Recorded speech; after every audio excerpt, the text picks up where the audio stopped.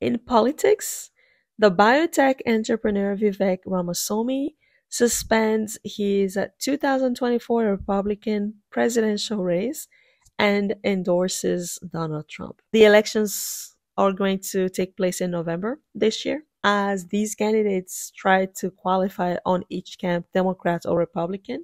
What we think is going to happen is President Biden will face Donald Trump. Yes, we think Donald Trump will definitely be a contender representing the Republican Party. We think in the race still though, because Vivek has dropped now in the race, uh, Nikki Haley is still running for the Republican. So first, Nikki Haley and Donald Trump has to come head head to head, and there can only be one winner. And we think Nikki Haley is going to abdicate to Donald Trump and we think Donald Trump will face President Biden yet again for the second time. And we think President Biden will win the elections. Maybe they might rig it, who knows? But President Biden will win the elections. You didn't hear it here. and once he once he wins the elections, we think he might not finish his term.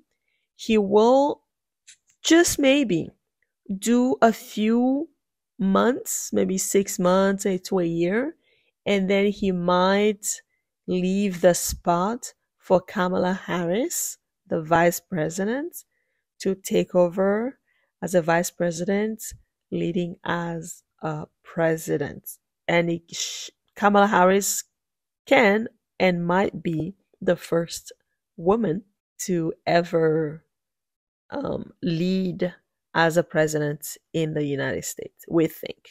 And it could be the case either in 2024 or 2025, depending on when Biden decides to uh, step down. Anyways, that's what we predict, but we could be wrong. So we are just going to sit down and watch and see if we are right. So that is all we got for you today. We hope you enjoyed this episode. Make sure you subscribe, like, comment as always. We love you for watching and we will see you in the next one. Bye for now.